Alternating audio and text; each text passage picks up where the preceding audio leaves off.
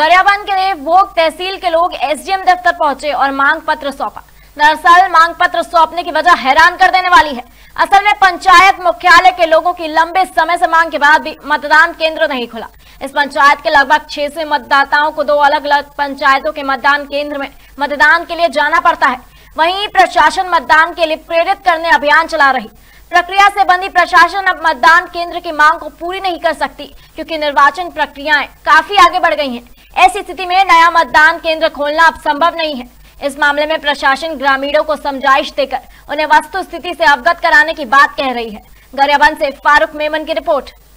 देखिए जानकारी प्राप्त हुई है कुसुम कानी के ग्रामीणों ने जो नए मतदान केंद्र की मांग को लेकर ज्ञापन सौंपा है, स्थानीय एसडीएम को, उसके संबंध में जो प्रारंभिक जानकारी जुटाई गई है, उसके अनुसार उनका मूल मतदान केंद्र है, वो दही गाँव है।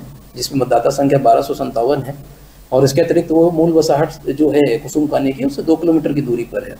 और वर्तमान में चूँकि अभी प्रक्रिया आगे बढ़ चुकी है, काफ़ी निर्वाचन की और जारी है, तब भी स्थानीय एसडीएम को निर्देशित किया गया है कि ग्रामवासियों से चर्चा करें और जो वस्तु स्थिति एवं प्रावधान है, उनको अवगत करावे। हमारे गाँव गाँव कुसम कहानी है। कुसम कहानी पंचायत रहते हुए भी पंचायत बना हुआ तीस साल हो गया और तीस सालों से हम मांग करते आ रहे हैं कि हमारे गाँव में बूथ होना चाहिए। पुलिंग बूथ, क्योंकि हम दूसरे, हमारे गाँव में तीन गाँव आते हैं, नवागुड़ा कोसम कानी और ऊपर पीटा तो हम पंचायत कोसम कानी वाले नवा दही गाँव आते हैं। दही गाँव आते हैं और हमारे अतिरिक्त गाँव ऊपर पीटा वाले डुमर वाल जाते हैं। और सर, हमको ये चुनाव में जो वोट देने जाते हैं तो लंबी लंबी लाइन लगाना पड़ता है।